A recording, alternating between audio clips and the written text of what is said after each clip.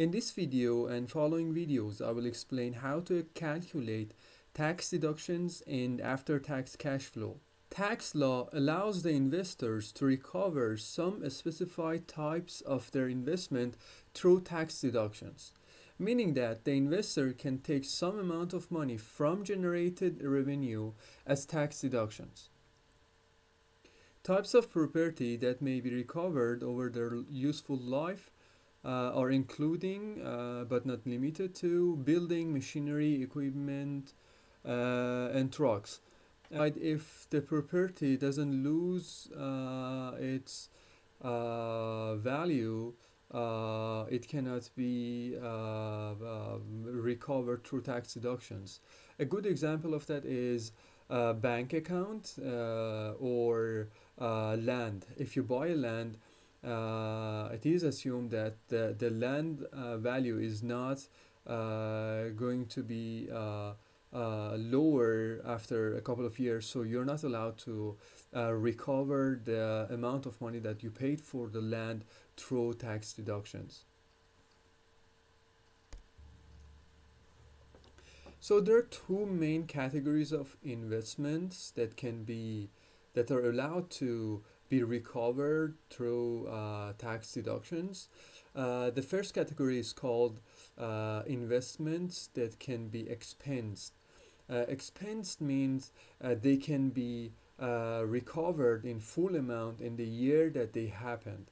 an investor can deduct the, the, deduct that expense, that investment in full amount from the revenue in the year that uh, th that uh, that invest that investment is occurred.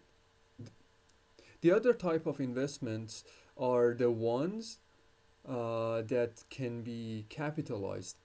Uh, capitalized means uh, they can be deducted over more than uh, one year as tax deductions. So the difference between investments that can be expensed uh, from the uh, uh, investments that can be capitalized is just the time. Here we can see business costs that can be expensed. Uh, they, they, can be deducted in full amount in the year that they happen. Uh, operating costs, research and experimental costs, uh, mining exploration costs, mining development costs, petroleum intangible drilling cost or IDC.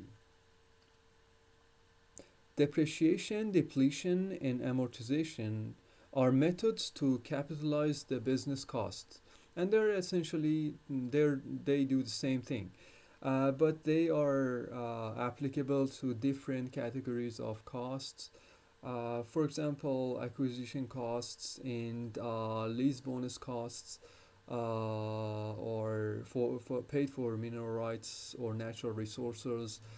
Uh, they can be recovered by uh, uh, depletion um, and costs such as acquiring a business lease or this so or trademark expenses they can be recovered by amortization. So it is obvious that the faster investors uh, recover their expenses, it's better for them it is going to have positive economic effect on the the project.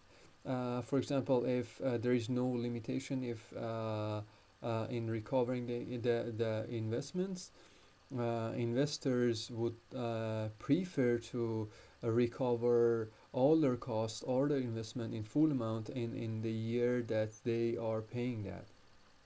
Because the earlier you get your money back it has higher value uh, than when you get it in a later future.